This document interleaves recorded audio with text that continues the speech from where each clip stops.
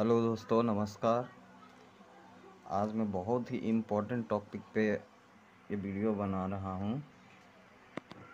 आप देख सकते हैं, ये चावल हमारे लड़की को स्कूल में मिला था। ये मधुबनी ज़िला में हमारा घर पड़ता है। तरैया मध्य विद्यालय स्कूल है, सरकारी स्कूल, और उसमें हमारे बच्चे पढ़ते हैं। जिसमें उनको सरकार की तरफ़ से चावल दिया गया। और दोस्तों, इसमें प्लास्टिक का चावल मिक्स है मैं आपको निकाल के दिखाता हूँ। ये आप देख सकते हैं। और मैंने बहुत सारा चावल इसमें से निकाला है ऐसे एक एक करके। और इधर मैंने जमा करके रखा है, ये देखिए।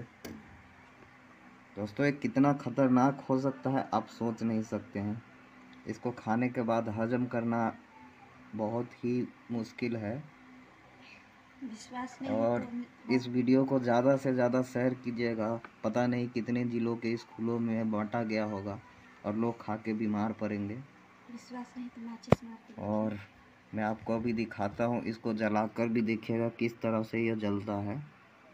और देखिए दोस्तों इतना इतना सारा मैंने निकाला है। लगभग ये पाँच सात किलो चावल होगा।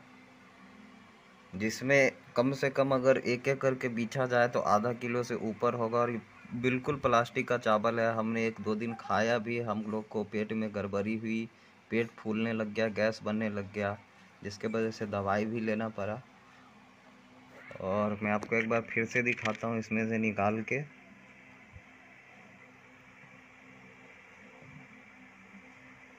ये देखिए।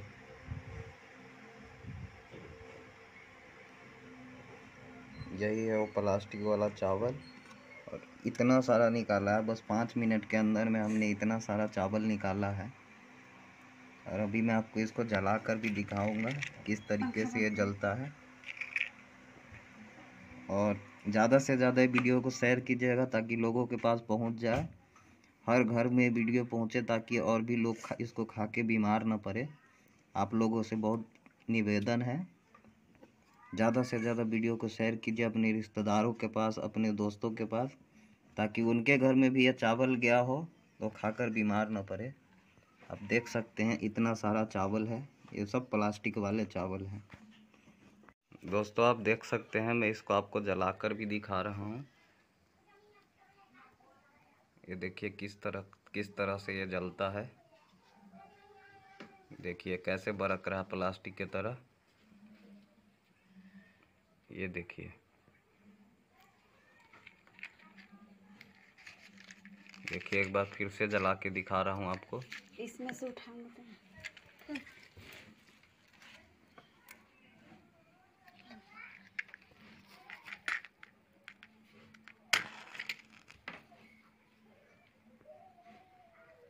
देखिए देखिए दोस्तों किस तरह से बरक रहा है प्लास्टिक का चावल। दोस्तों, ये मौत का सौदागर ज़रा सा भी नहीं सोचते हैं कि इस तरह के करने से लोगों को कितना बड़ा नुकसान हो सकता है, जान पे बन सकती है लोगों को, आप इस वीडियो को ज़्यादा से ज़्यादा शेयर कीजिएगा।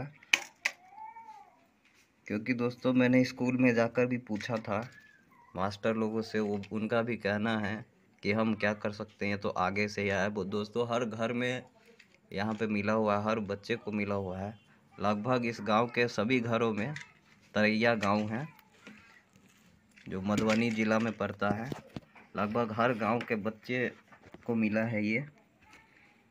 और ज़्यादा से ज़्यादा वीडियो को शेयर कीजिएगा ताकि लोगों के पास पहुँच सके और वो भी खाने से पहले इस वीडियो को देख, अपने घर के चावलों को चेक ज़रूर करें। धन्यवाद दोस्तों।